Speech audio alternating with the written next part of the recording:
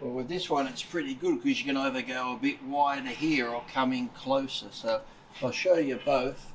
This is like a bit wider, but the main thing is to get in position. Some people row too much and they're doing a shrug, or some row and they're doing this. Try and get into a position where you're like a duck. You know, a duck has its back out like that. You Yeah. want to, want to sort of lock yourself in that position and stay there. Don't sort of do this or stand too high. You want to stay in a position like this and then just do that. So you just want to, whether you want to stand up first or whatever, but just get into that position and then just row.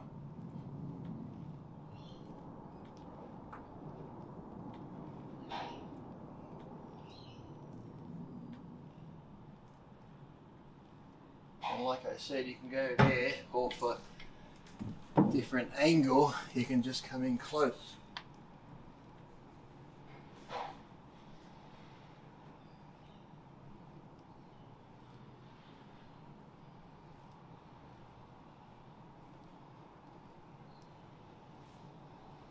And the beauty of this machine, you can do on one arm, like as if you were doing a dumbbell row. So if you want to lean on here, or even if you've got a little bench, you could put the bench here. But if you got this here, you can just put your hand there.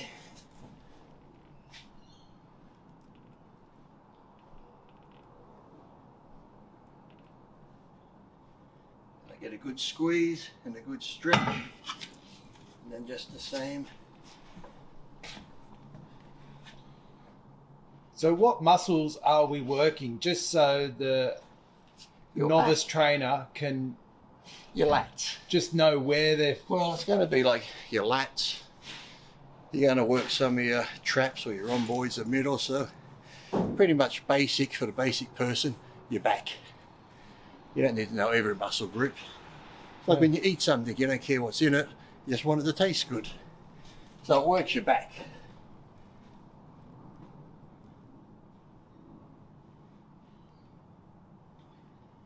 Same thing, you can go close or you could row it with your hand there.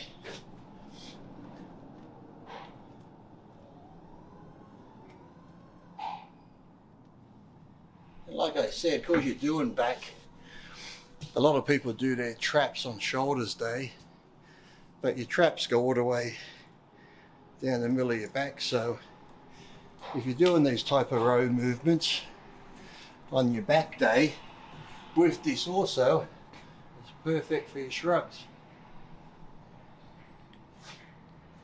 Now, one question people have asked Will bent over rows hurt their back? If you do them wrong, yes. But I, if you go too heavy or whatever, but no, if you got a good back, you know, and you, like I said, you do them strict where you're like this. Some people you'll see doing this.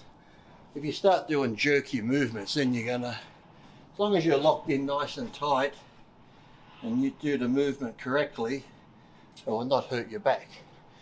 You you will have a hurt back, but a good hurt, soreness from the muscle. Well, I was actually going to say, like, doing bent over rows and one arm rows will actually strengthen your back, Well, yes. and you'll be less likely to hurt your back doing other things. Yes, like doing everyday life. Yes. Normally, I've never been hurt in the gym. Never. Touch wood. That's the two injuries I've had are outside the gym, and generally, you know, I, I finished that shrug. But let me with this shrug too.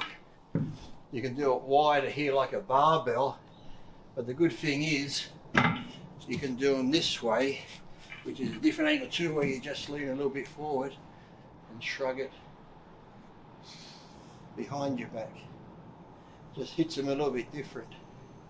Yeah, but as I was saying, you normally don't get hurt at a gym because when you're training, you're focusing on what you're doing. Like you'll get here, you lock in position, and you do that. Now, if you're at home, you'll say, yeah, well, let me just pick that up. You just grab it, you're not really thinking about it. You know, the correct Yeah. way would be to squat down, and pick it up, but because we don't do that, even picking up a bag of heavy groceries, you might pick it up and twist, and that's all it takes. You might bend over to put your shoe on and just ah. So Yeah, I think because in gyms you're more focused about what you're doing, you're concentrating on it. And at home or anywhere else, you just, you know, I said picked it up, you don't think twice, you just go, okay, oh, there it goes. But even then, like, um, because you train, you, You'll be a lot better. yeah, like yeah, said. yeah. You're going to be stronger in that, but even if you are strong, because even at my biggest and strongest, I still had little injuries outside the gym just Yeah. because I went to pick something up, I wasn't warmed up, and because you think you're strong, you're like, oh, that's light, it won't hurt, but you can get hurt on the smallest thing just by twisting the wrong way doing it. So, yes, so always be careful, even if you are big and strong you've got a strong back. Just be careful what you do. Always lift correctly.